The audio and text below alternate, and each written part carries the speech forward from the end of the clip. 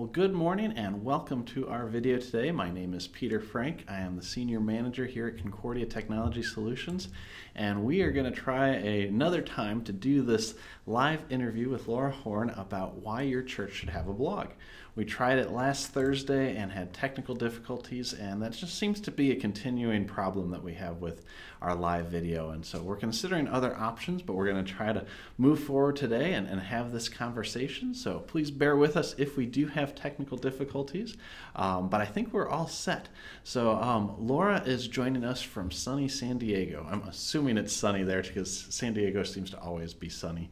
Um, but you are a freelance um, writer and um, let's see what else we have web strategist. I d- was thrown off by our technical difficulties. I didn't get that all memorized correctly. But um, Lora, how are you doing today? First off.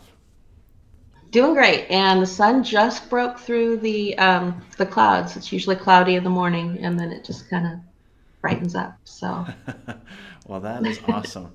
I have only been out to San Diego once, although it's looking like I might be coming out again in the spring for a conference. So I'm hoping that'll oh, work out. So, um, well, Lora, thanks for your patience with um, all the technology issues that we've had. And um, you were able to join us minutes before we started. So, we haven't had a chance to um, kind of plan this out. But I'm excited to talk to you about this idea of blogs for churches. It's something that we've talked about a lot here at Concordia Technology Solutions, and we've done a number of things over the years, but it's been probably about a year and a half, two years since we've really dug into this topic, and we haven't talked to you about it yet. So I'm excited to hear your thoughts on this. Um, you wrote a blog post for the Concordia Technology blog that we launched last Tuesday, and um, really just gets mm-hmm. into both the why but also the how. And, and you mentioned in there that it's always good to um, talk about the how first before getting into the why. So it looks like we just lost Lora for a second. So we'll wait for her to come back on um, before we ask her to answer the question. Um, but this idea of asking how can kind of make it easier as you get into the why. Because while starting a blog may seem like a big project and may seem difficult, it's not actually as difficult as it seems. So, Lora, we've got you back here now. Um, can you start off? Let's start off talking about just the website platform. What is needed um, for a website platform for a blog? Is it a super fancy kind of web platform, or can anybody do it? Well, just about anybody can do it. And if your church already has a website, then um, you should pretty much have what you need. If not, then you know you can go with um, launching a blog that would also have the ability to host the information about your church too. So it's really not that hard. Let's talk about. You mentioned this idea of a purpose statement for a blog. What is that? Mm-hmm. Um, you know, how do you go about writing a purpose statement for the blog? A purpose statement defines what the blog is about, so it's not all over the place. Um, if you have a blog for the church, you want to define what it's about, what it's um, what you're going to write about, and what you're not going to write about. For instance, um, you know, are you going to have church politics on there? Probably not. Most churches really don't. um, you're not going to probably have rant, political rants or things like that. Um, um, as a matter of fact, I'd recommend you didn't because of legalities. But um, you know, basically, it's supposed to show the life of the church and feed the people who are members, but also give outsiders a glimpse into what what your church is about. You know, um, devotions, events, um, things that you're passionate about, um, activities going on, um, current things going on with the Sunday school, all sorts of things that show what does your church love, what is it about? What does it believe? And um, so it feeds everybody who comes. Okay, so let me go a little off our pre prepared questions here to ask that the difference between the website and the blog. If you can do a blog on pretty much any website and it's about the life of the church, what distinguishes the blog from the website? Usually, the information that's on the front page of the website is fairly static. It doesn't change. Um, it, it's your address, um, your your service times, and you know it also can have articles listed on it that people can link to and those might change. But generally that's fairly consistent. The blog is something that changes on a regular basis and that's good both because it's showing that things are going on with the church but also because it shows google that things are going on so you also tend to rank a little bit better when your your website is active that's a very good point. And I think, especially in today's age of social media, we can tend mm-hmm. to downplay our website and the importance, but really, most web experiences, um, short of social media directly, start with a web search, mm-hmm. and that's all around SEO. So I think that's a very good point. Thanks for bringing that up. So, blogs constantly changing show the, the latest and, and greatest, if you will. How do you go about finding people to write? Um, I'm sure that many of our pastors or other church workers are thinking, I don't have time to take on another big project. what is your suggestion no for you understand. You have got that experience there. But what is it that you know how do you go about finding writers for it? Is it supposed to be the pastor? Is it supposed to be the church staff? Or can it be anyone at the church? I think it's a good idea that the pastor be one of the writers because I mean it's his job to preach and teach, and um, the blog can be a great tool for that. It also connects the people who are reading the blog with the pastor. However, he doesn't have to be the only one. Um, you know, basically, if you find a few volunteers who are willing to go with the purpose of the of the blog, and then you have maybe one person who's kind of coordinating everything, who helps put together um, a list of things that you're going to write about. They call it a content calendar. You know, you just know, okay, this week we're going to talk about, um, you know, starting Sunday school up again for um, for the school year. We're going to, and then next week we're going to talk about this. And then October comes around. Let's talk a little bit about Reformation Day. Um, we've got an Oktoberfest coming up. Different things like that. Um, then you know those are things that don't necessarily require the pastor to write about. Those can be people who are in the church who are willing to give an hour here or there um, maybe once a month to write a blog post about something that's important to the church. And so if you find a few people that do that then you have someone that's willing to write once a month rather than all the time. That's great now how do you go about starting that conversation? And it's, maybe it's two conversations. One is the conversation with the leadership of a church on having a blog, and two, it's those blog authors. What are your recommendations for starting that conversation? I think it's good that you mentioned the leadership of the church because since this isn't just the pastor's blog, this is a blog that reflects the life of the church. They should be on board, um, and they should you know, know what the purpose is, buy into the purpose, and be able to support you for that. Um, then also, you know, I think you know your congregation. You know, if someone, um, you know, if you think about it, you pray about it, a, a few people might stand out, and then you bring it up to them.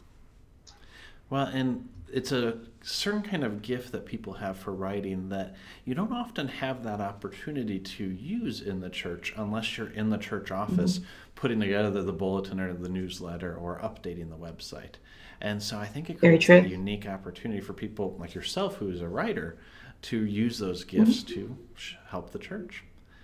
Now, before we get into the why, are there any other hows that are important for our audience to understand with starting a blog? Anything else that you recommend they dig into before um, before they post their first blog post?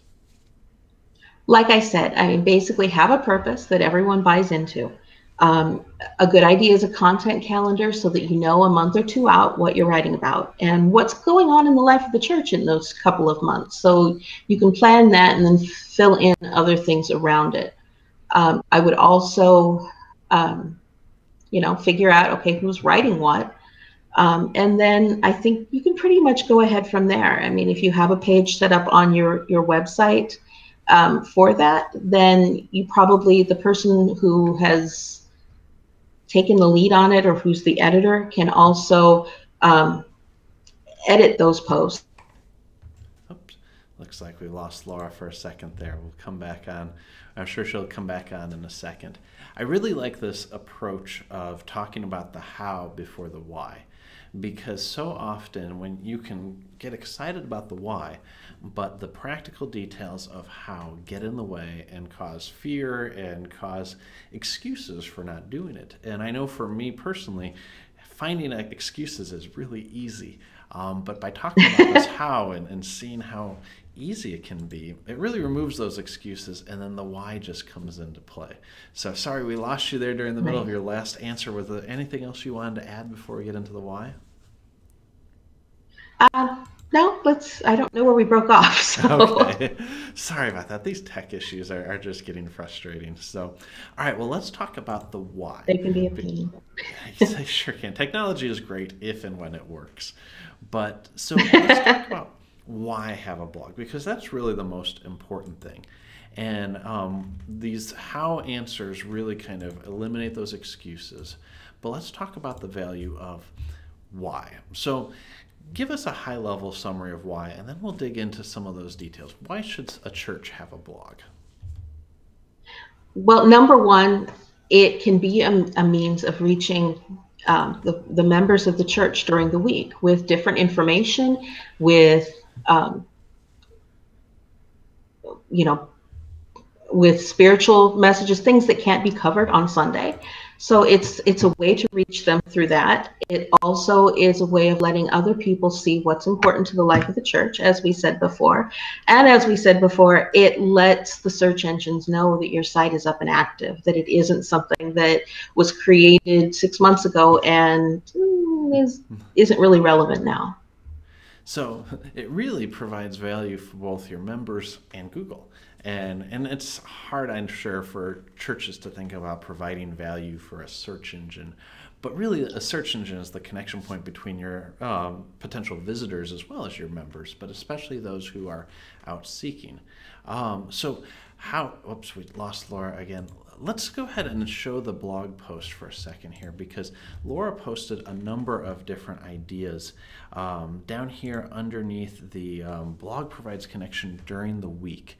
And she's got this bulleted list. If you scroll down there, you'll see a number of different practical ideas for um, tips on what to write about. Um, which really gets back into that why that connection during the week with members and potential visitors. So, mm-hmm. Lora, how can a church encourage current visitors to visit, but then um, also how can they encourage potential visitors to visit the blog or potential church members to visit the blog?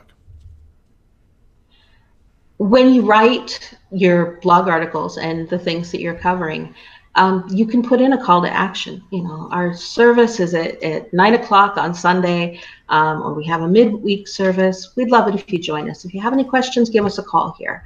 Um, so a great call to action that covers that is something that's good. But it, I think honestly, when the tone of the blog is something that is upbeat and shows the passion of the church, then it actually helps people find the places they belong.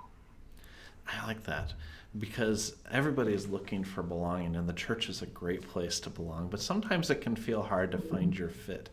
And I know that Sunday morning is not usually the best time to get involved because it's about worship. It's about the gifts that Christ gives us, not about what we can give back or what we can do to get involved. It's not about us on Sunday mornings. Um, but a blog allows right. us to find those connections. So um, we showed. I think. Oh, go ahead. Sorry. Okay. Um, you know, a lot of, of my clients that I work with are mental health professionals, and I tell them that their website is their waiting room. That it lets people know what's coming. It makes them feel comfortable. And i guess you know the website of the church should be viewed as the narthex. I like that. That's a really interesting idea the narthex. And then anything that we can do to make sure people are not confused with that sanctuary part of the church and what that is there for. I like that idea of the narthex right. where you can get in connected with that community in different ways. Very good. Well um, oops, we lost Lora again. Lora talked about the content calendar, and we've um, we've talked about content calendars in the past and the value of those. Kind of this idea of tent poles, where it creates the structure and then kind of fills it out. But I'm really intrigued about this in connection to the blog because we've talked about in other ways before related to social media, related to newsletters and bulletins. Um, but this idea of the content calendar for your blog um, is exciting mm-hmm. and I think really provides some a good plan forward. Can you talk to us a little bit about how you go about creating a content calendar for the blog um, as opposed to all your other forms of communication? What's unique about that? What's um, what might be easier or more challenging about a content calendar for a blog? Probably the challenging part is Pentecost, just going through that whole long period of time where um, Sunday school might be out or other things might not be going on. But then that can be an opportunity for um, extensive, you know, going into a book of the Bible or something like that, um, or highlighting what's coming up with VBS. But a content calendar is something where you look at where are we in the year and in the church year and what's going on um, in the congregation. So you can then, you know, know that, gee, this is coming up. So we can write about this here the week before, get people kind of excited about it. And if there's nothing coming up, well, you know, what's what's going up for the for the liturgy? Is there a commemoration day? You know, something like uh, a Lutheran we don't know much about, like Robert Barnes or or something like that. Um, so it just keeps things moving and keeps things in perspective because it would kind of be a bummer to write about um, to write about something like um, the Sunday school, as great as the Sunday school is, if you have Reformation. yeah, if you are missing the uh, the key parts of the church here, or sometimes the, it's not a matter of missing them; it's just it's kind of snuck up on you. I know that happens for us um, on a regular basis here. That there's so many good things to do that these big events can sneak up on us when we could have been planning on in advance. And and I like that idea with a, a content calendar is that it kind of creates these holes that you can fill, and and that's mm-hmm. a time when you can really get ahead and, and plan out in advance. So um, good, we've got you back. Sorry we lost you again for a moment there, Lora. I've only got a couple more questions for you. Um, first off, have you seen any um, really good examples of church blogs that you'd like to share with our audience, or even just the general idea of the blog? You don't have to call them out by name, but what are some good examples of blogs by ch- other churches? You know, um, majority of where I'm, what I'm working with, it it is hard to get churches to start. So there are a few examples that I've seen out there, but not many. And I think that this is something that we can jump in on and start and start moving because it is so effective with every other area, um, with businesses, with um, people who are with services where people are trying to help other people. But this is something that, um, as far as Lutheran churches, I haven't seen jump forward, but I have seen it more, more effectively in some in some others. But I do think that it's something we can utilize so strongly. Good. My last question for today is uh, for today is not something that I was asking, but a comment that we got on Facebook um, when we shared the blog post was this idea of a pastor's blog versus a church blog, and you had a great answer for right. that. Would you mind sharing that? What the difference is, whether um, a pastor should blog on their own or for their church? What are your thoughts on that? Um, I should say also going back before though, our, my congregation is has been working on a blog and it is going forward and doing a great job. So that's gdlutheran.org. So um, for Gloria Dei Lutheran. So gdlutheran.org. So give that a, you know, check that out because um, um, Heather, our editor, is doing an excellent job with that. But also, um, um, as far as the difference between a pastor's blog and a church blog is a pastor's blog has been pastor's blog has been around for quite a while. I mean, I'm, I'm a big fan. I love pastors' blogs, but they tend to be what the pastor is passionate about, not necessarily what um, the congregation is passionate about. Sometimes it's even an avenue to kind of express the passions that he can't necessarily um, share on Sunday with his congregation. So it's a means of it, it's still a means of reaching the congregation, but it also does tend to focus on the world at large, other pastors, um, laity that are passionate about the same things. And so, you know, they'll talk about all sorts of things. They'll talk about church politics. They'll talk about um, pastoral practice or theological issues, and then, you know, maybe even get into the Greek and um, or they'll talk about their football team or different things like that. And and that's all awesome. It, it's wonderful. But um, the pastor takes it with him when he goes, just like um, like we lost Lora again. And that idea of um, the pastor's interest too. Like I know a lot of pastors who like talking about football or maybe brewing beer, and that's a, a great thing. It shows a hu- more human side of the pastor that you don't always see from the pulpit, um, because it's not about the pastor at the pulpit, um, and it can kind of build those personal connections But those kind of topics are really not appropriate for a church's blog um, that stays there for a long period of time. Um, and so right. I think that's a, a, great point.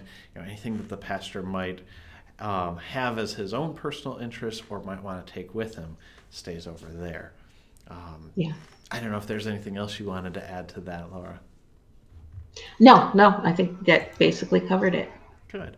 Well, that's all the questions I had for you today. And again, I apologize for these technical issues. Um, we are reviewing other options moving forward because this is several weeks in a row now with various different people across the country. So I'm thinking it's more on our end or our services end. So thanks for your patience, Lora, and thanks for our audience's patience as we deal with this and, and try to figure out a better way of approaching these live videos.